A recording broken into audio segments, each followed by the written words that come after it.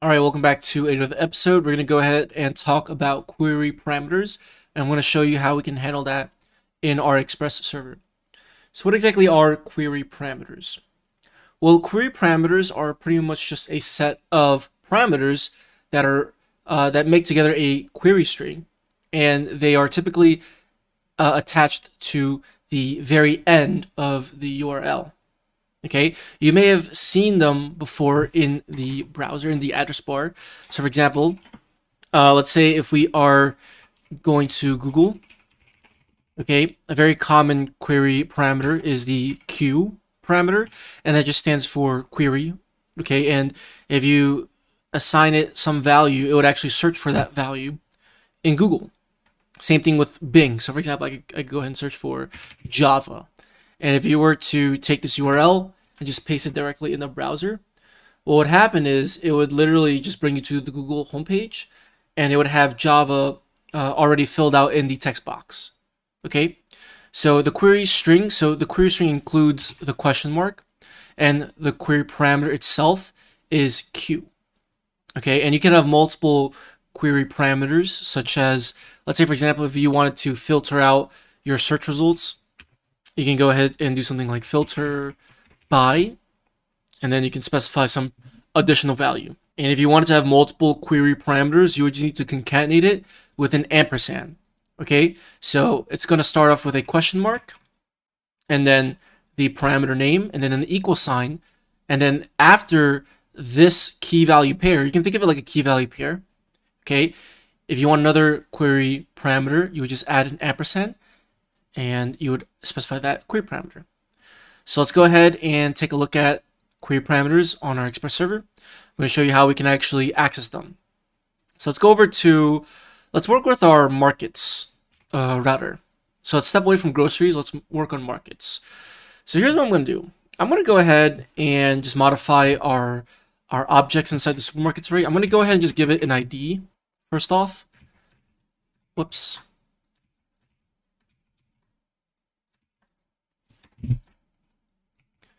And we'll go ahead and do that.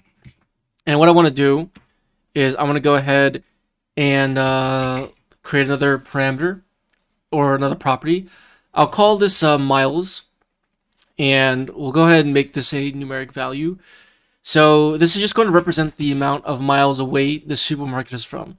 So pretend like in a real application, uh, you're trying to search for all local supermarkets and you want to also make sure you are getting the closest supermarkets nearby. Okay, so let's go ahead and just give a number for each. Okay, and let me go ahead and add a couple more. So let's go ahead and do that. So we'll add another Trader Joe's, that's 3.5 miles away, and we'll add one Albertsons, that's also just 1.8 miles away. Okay, so what we want to do next is we want to go ahead and provide some query parameters in the route URL to get us only supermarkets that are less than, let's say, three miles away. So in our case, it would give us uh, one, two, three, and four. So it gives us a total of four records. Okay. Now, how do we do that? Well, we can use a query parameter. So that query parameter would be something like, uh, it, it could be something like miles, for example. So if I go into Postman, and if I were to make a request, it would look something like, uh, so we, we would call slash API slash v1 slash markets, and then we would add a question mark at the end of the URL, and then we would specify the uh, the name of the query parameter. So we'll call it miles, and then we can pass in a value, so something like three for example. Or it could be a, in a decimal, like a floating point. So if I were to run this, okay, right now it's not doing anything. And it's really a lot different than route parameters, and I'll talk a little bit about that in the end on the differences between the two, between route parameters and query parameters. But right now, what we need to do is we need to go ahead and get the actual query parameter, which is miles. So we can get that by referencing request.query. And this is similar to request.params. It pretty much populates all the query parameters in an object. So right now, if I were to go into the console, Well, let's first make a request, and then I'm gonna go. I'm gonna go to the console, and you're gonna see that I have an object, and that object has a property called miles, which is going to be whatever this parameter is right over here, whatever that's called, and it's going to give me the value 3.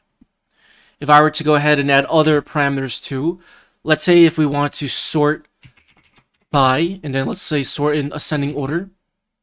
So let's do something like ASC, which is a common, common thing that you would do when it comes to filtering out results. Okay, that would also be added inside the object as well. Okay, so we will sort the results based off of uh, the miles in ascending order, for example. And if you wanted to add more route parameters, you can also do that as well. Okay, but let's go ahead and do this. What we're going to do is we're going to go ahead and take the miles query parameter.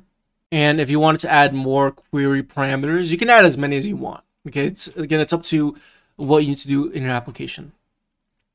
Now what we're going to do is let's go ahead and get the actual miles. So I'm going to go ahead and destructure that from request.query. Now, unlike route parameters, uh, route parameters actually are going to be defined all the time. Because with route parameters, if you actually don't provide the route parameter, it's not going to know which route to actually visit. It's going to visit a different route. So for example, if I don't provide the item route parameter, it'll just visit this uh, this default slash route over there. Okay, so with route parameters, they're majority of the time they're always going to be defined. If they're not defined, in fact, they're always going to be defined actually, because if they're not defined, then it's going to try to find um, the next route if it's mapped or not, right? And if it's not, it's just going to return a 404 not found. Okay, so with query parameters, we do need to check to see if it's truthy or not. So what we'll do is we'll say, okay, if miles is truthy, then this tells us that we need to actually filter out the results based on miles. However, if miles is not truthy, we can just return all the supermarkets. So the unfiltered results. Now, since uh, miles is actually a string, what we're going to do is we're actually going to go ahead and uh, parse it to an integer. So I'm going to go ahead and create a variable called parsed miles. And we'll go ahead and call parse int miles. Okay, so uh, we're basically taking the string and we're going to parse it. So we're going to go ahead and first we're going to check to see if miles is truthy. And we're going to check to see if uh, if parsed miles is actually a number. So uh, if parse int returns nan, that means the user passed in an invalid numeric value. Okay, so we're going to check to see if it's not nan. Okay, which nan stands for not a number. So is nan is going to return true if it's not a number, so we just have to negate that value. Okay, so if both of these conditions are satisfied, then we'll go ahead and continue. So we'll go ahead and take, uh, let's see, actually, um, yeah, this is fine. So what we can do is we can actually just remove this uh, this miles and part because if miles is undefined uh, and if we try to parse that, it's just going to return nan as well. Okay, so this is perfectly fine. Validation. So what we can do now is we can go ahead and just simply uh, filter out. So we can go ahead and create a variable called filtered stores. And we're going to go ahead and reference our supermarkets array. So we'll pretend like that's some database, right? And we're going to go ahead and call dot filter. And then we're going to go ahead and return every single store where uh, s dot miles is less than or equal to miles. Okay, so we're basically going through every single element inside this array, and we're checking to see if the current element's miles is less than Actually, I'm sorry, it's not miles, it's parsed miles. Here we go. So if let's say, for example, we're at Whole Foods right now, and the current miles is 0.06. Oh, I'm sorry, not 0.06, 0.6. Well, uh, this condition is going to return true because 0.6 is less than or equal to parsed miles if we pass in 3, which was the value that we said we are going to pass in. So that'll give us back uh, Whole Foods, and it's going to keep doing that until we run out of elements, right? So Let's go ahead and send that back now. Okay. And let's see what happens. So let's go ahead and remove this sort by. So now you're going to see we should get only four records. Okay. If I change it to five, it should give us five records. So one, two, three, four, five. If I change it to uh, one mile away, it's going to give us just one record, which makes total sense. Okay, let me just change this Trader Joe's to one. Okay, so it's going to give us two records now. Okay, so that's pretty much how you can use query uh, query parameters. So hopefully that makes sense. Okay, now let's go ahead and just spend the rest of this video just to talk about the differences between route parameters and query parameters. So when would you use one over the other? Okay, because I know this can be confusing to some people. Well, typically when it comes to route parameters, right, what you want to use them for is to identify a resource on the server. So for example, we have route parameter set up for a grocery item, and that basically represents a resource that lives on our server. Okay, the grocery item is going to likely be saved on our database or it could be saved in memory.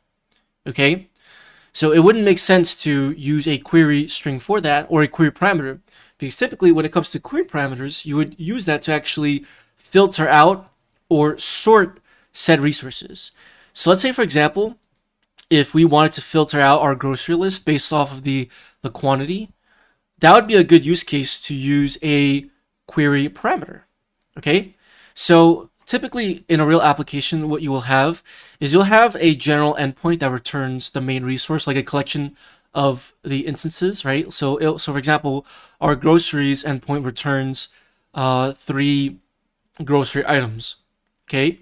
Well, what we can do is we can add a query parameter for this endpoint. When we call this endpoint, we can add a query parameter and we can filter out all the grocery items based on the quantity. So let's say, for example, we only want to get all the grocery items in the grocery list where the quantity is greater than or equal to 2.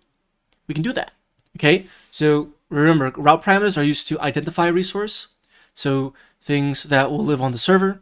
Okay, and query parameters are used to just sort and filter out or basically manipulate not really manipulate the data but manipulate the response okay? I, I don't want to say manipulate data because we're not really changing or mutating the data. All we're doing is we're just changing the way that we are retrieving the data. So for example if you actually use uh, applications like ebay if you've used like any uh, any kind of like you know application that has its own like search engine to search for results and stuff, right? You'll oftentimes see in the URL a query string with a bunch of query parameters, and you'll see very common stuff such as sort, sorting, filtering, uh, listing, uh, listing the price between low to high, high to low, and etc. So I hope that explanation makes sense. So thank you for watching this video, and I will see you all in my next episode. Peace out.